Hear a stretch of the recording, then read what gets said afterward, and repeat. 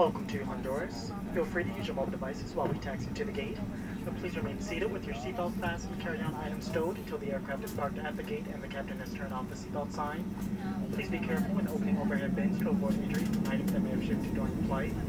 Before leaving the aircraft, please be sure to stop, think, and locate any personal items you might have brought on board. And take them with you as you deplane. We invite you to visit Delta.com for all of your future travel needs, including checking in for a flight and managing your SkyMiles account. On behalf of Delta, thank you again for sharing your journey with us. We've enjoyed having you on board. Have a wonderful day.